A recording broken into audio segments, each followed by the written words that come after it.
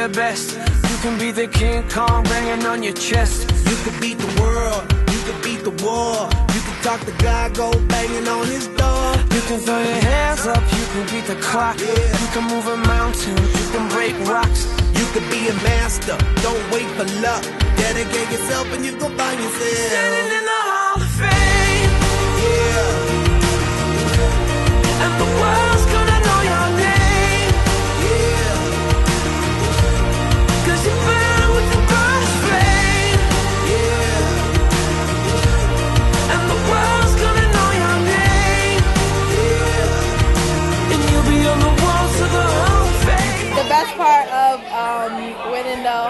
Atlantic 10 championship was probably when I walked up there and cut down that net because we did it, and that was like the first physical thing I could actually have in my hand to say that we did it. We I have the net in my hand to prove that we won this championship.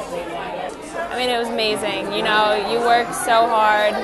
For the seniors, we've been working so hard for four years to try and, and get to the NCAA tournament and and win this championship. And so it was it was just a great, amazing feeling. It was a great way to finish off senior year. I can't believe we did it. I think I I was like all this hard work that we put in all those weeks of running, practicing, and we did what we we set out to do. I think it was a great feeling of just being a part of a team and uh, accomplishing a goal that was set out. Well, I'm kind of embarrassed to say it, but for some odd reason, I thought we were tied and that we were going into overtime. And then I actually looked up at the clock and I was like, we won.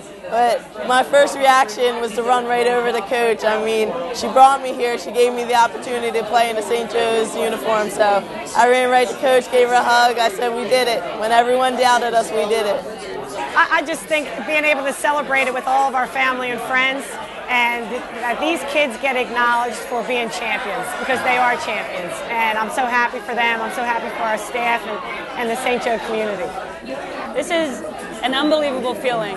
Uh, we've waited for this for a long time. It's one of those things where you put so much hard work in as a coaching staff, the team, the, just the, the amount of effort that they've put in. Um, they deserve this. And to know that we're sitting here tonight after winning a championship, so we're definitely in and we're going to be dancing, um, it's great. And it takes an army, and that includes all the people who support us around the program. So we're just happy to share it with everyone at St. Joe's.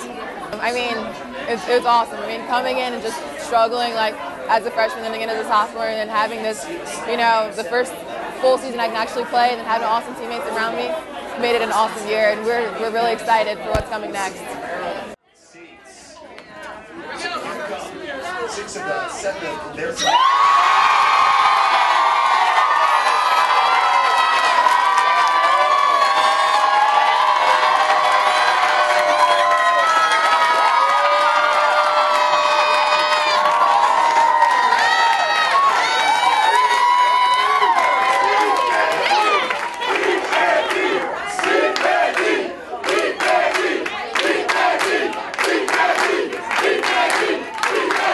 I know they're a really strong team in the SEC. We did play them a couple years back.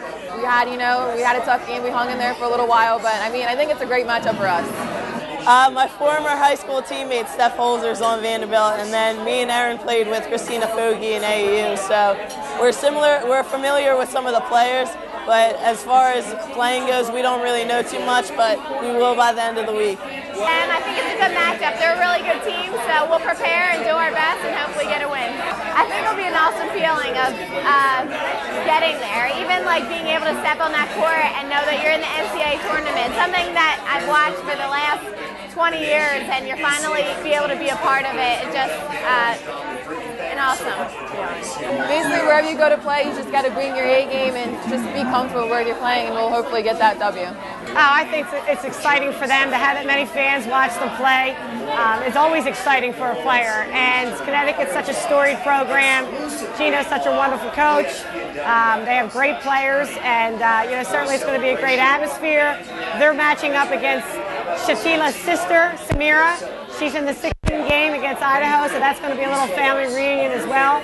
And um, we're, we're looking forward to it.